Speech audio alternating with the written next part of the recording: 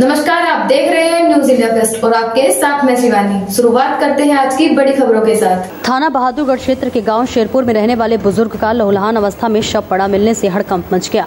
आपको बता दें कि शनिवार की सुबह सईद का चार पाई पर खून में लथपथ पड़ा था शव और इसको देख गाँव में सनसनी फैल गई। सूचना मिलने पर पहुँची पुलिस ने शव को कब्जे में लेकर पोस्टमार्टम के लिए भेज दिया और मामले की जाँच शुरू कर दी। पुलिस से मिली जानकारी के अनुसार मृतक का परिवार दिल्ली में रहता है। मृतक तिरसठ वर्षीय सईद गाँव में ही मजदूरी करता था।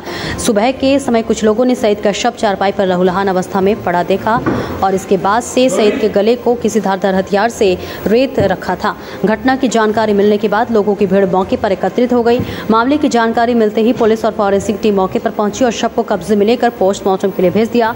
वही हत्या की सूचना के बाद परिजन भी मौके पर पहुँचे और विलाप करने लगे। आशंका है कि सोते हुए गला काटने से सईद की मौत हुई है। पुलिस विभिन्न बिंदु ध्यान में रखते हुए जाँच कर रही है। एएसपी विनेता भटनागर ने जानकारी देते हुए बताया कि थाने पर सूचना प्राप्त हुई थी। मौके पर जाकर देखा तो बुज़ुर्ग का शव पड़ा हुआ था और उनकी गर्दन कटी हुई थी। शव को कब्जे में लेकर पोस्टमार्टम के लिए भेज दिया है। पुलिस सभी बिंदुओं पर जाँच कर रही है। हापुड़ से गुलजार अली की रिपोर्ट।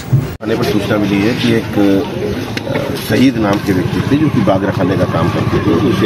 थे जाति से ये अंग्रेज़ हैं और अ, सवेरे इनका शव गर्दन कटी हुई गले पे जो है काफ़ी गहरे गहरे घाव थे। उस तरह से शव मिला है। इसमें पुलिस ने अपनी जाँच करी, हमारी फोरेंसिक टीम आई और हमारी कई टीमें जो वैज्ञानिक जाँच कर रही हैं मौके पर, इनके परिजनों को सूचना दी गई है, परिजन भी आ गए जैसे वो तहरीर देंगे, उसके अनुसार साक्ष्य क्रम में आगे कार्रवाई की जाएगी।